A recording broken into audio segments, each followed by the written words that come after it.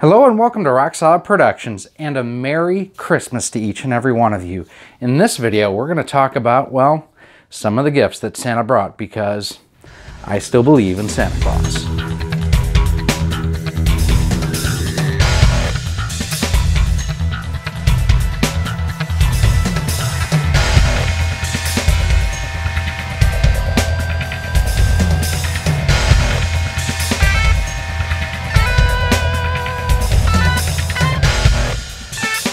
Hey everyone, Gary here with RoXolid Productions, and first and foremost, I just wanted, again, like I said in the intro there, I wanted to wish each and every one of you a very Merry Christmas, a blessed Christmas, and I hope that uh, I hope that you got everything that you needed, and maybe not quite everything that you wanted. That gives you a little bit for the next year as well.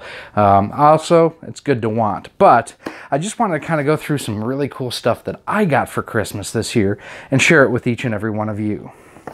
The first thing that I've got here is this is the Game Boy Color Change Glass. And the cool thing about it, I'll take it out of the box, is it's a really kind of cool tumbler and everything.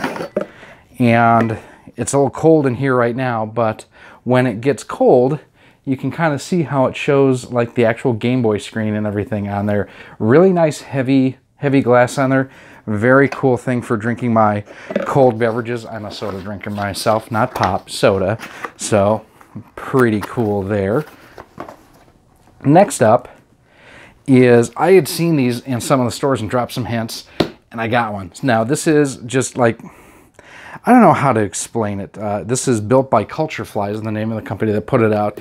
But as you can see, it looks exactly like a Super Nintendo, at least the American Super Nintendo. It even, the bottom looks like an American Super Nintendo. And inside the box, it has a number of different items. It has kind of a, a plushy controller and has a coffee mug. And just like the tumbler that I showed you, when you put something hot in this one, it actually shows the Game Boy display on there. Set this down here. A Super NES style backpack. And yes, I know I'm way too big for this, but if I go places and I take my NES Classic or Super NES Classic with me, it's perfect size for that.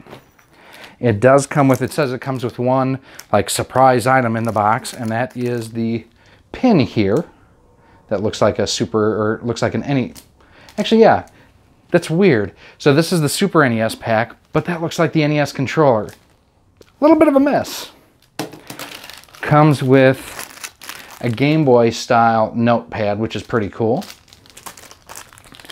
Comes with a Nintendo console coin, and it actually does have on the back official Nintendo seal of quality.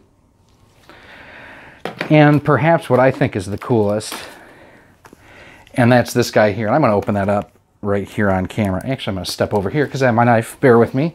So what's cool about this one and honestly, this is one of the biggest reasons why I wanted one of these packs, is these are coasters.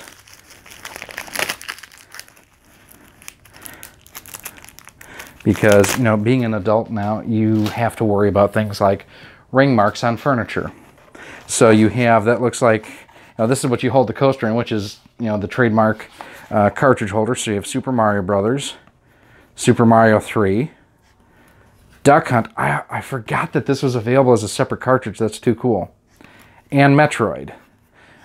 But the Super Mario Brothers my personal favorite that's on here. So um, really cool set here.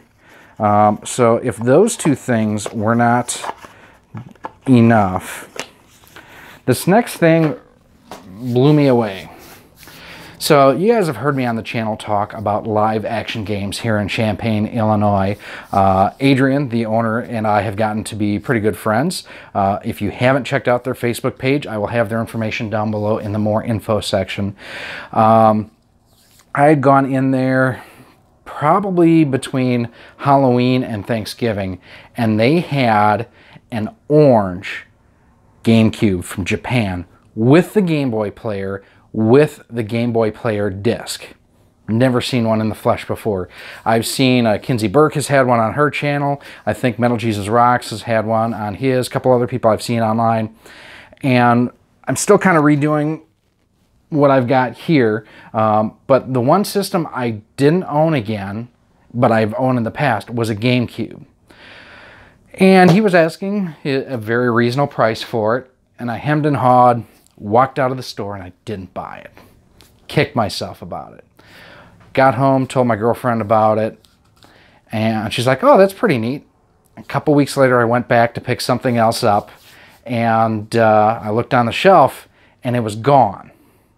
And I was bummed out because I was actually going to pull the trigger and I was going to buy it. Well, the reason why it was gone is because it was in a box that someone, my girlfriend, went and that night after I got off the or after I got home, she called Adrian at Live Action Games and said, "Hey, you've got this Japanese GameCube thing. I don't know anything about games, but can you hold it for me and I'm going to come in and pick it up." So I have a Japanese GameCube which just is outstanding. I haven't had a GameCube since before the Wii came out. I think I traded it. Actually, I may have traded my GameCube in on the Wii, uh, which I got at launch. But so I have a Japanese orange GameCube with the Game Boy player. And also has on the bottom, or not on the bottom, but included with it, it has the Game Boy player with manual and disc. So it is a complete setup. Now the controller is just a generic uh, purple GameCube controller. I don't care. I will eventually probably find an orange one to match this. I'll probably replace the Game Boy player itself eventually with an orange one. Um, definitely needs some retro bright work on here, but then again, my Fami or my Super Famicom, which is down there, my Super NES, I need to do it to all of them. So once it gets a bit warmer out this year, I will take all of them apart and I will retro bright them. Um, I've already been talking to Kinsey Burke and John Riggs about this bad boy, talking about what I've got to do to mod this so I can play NTSC games that were released here in the US. So um, yeah, this is the first time Actually, this is the first time I've received a Nintendo video game system for Christmas ever. Everything else that I've ever bought, and, oh no, that's not true. My NES was a Christmas present. I went with my dad ahead of time to help pick it up, um, and I actually got in trouble because I knew where they hid it, and I set it up ahead of time, and I was playing Super Mario Brothers. So what I did is I left the box where my parents had hid it, and I took my NES, that I was going to get. Well, I got it, but I, they didn't know that I had it. I put it in the bottom drawer of my desk because it hit it perfectly and I had TV sitting on my desk. I routed the power cables and everything up so nobody could see it. Um, I did get busted with that. My old man almost took it and returned it uh, on me, but that uh, this is the first Nintendo console I've gotten as a Christmas present since the original NES. So that was very cool. I, uh, uh, Adrian, you and I are going to have words. Uh, thank you very much for, for helping make this happen. But uh, yeah, it's got a handle and it's orange. Um, yeah, this is just way too cool. So I want to know what you guys got for Christmas too. Let me know down in the comments. I absolutely want to hear what you guys and gals out there got. Uh, also, let me know on our Facebook page, facebook.com slash rocksolidproductions. Um, I want to see it. I want to hear about it. Also, if you do have any comments or questions, uh, I'm probably going to end up doing a video showing the mod of this. It's relatively easy to do. You do need to have some basic soldering skills, which I do have. Um, so I may do a video showing how I take this apart, how to do the mod itself. You literally just have to solder two wires and put a switch in the system somehow, and uh, you're good to go.